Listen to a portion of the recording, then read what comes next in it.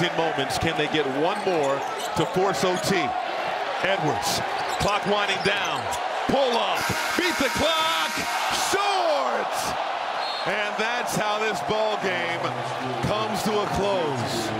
The Timberwolves without Towns, Gobert, and Naz Reid on the second night of a back-to-back -back, erased an 18-point deficit and had a chance at the horn to force OT. Ant did a nice job there.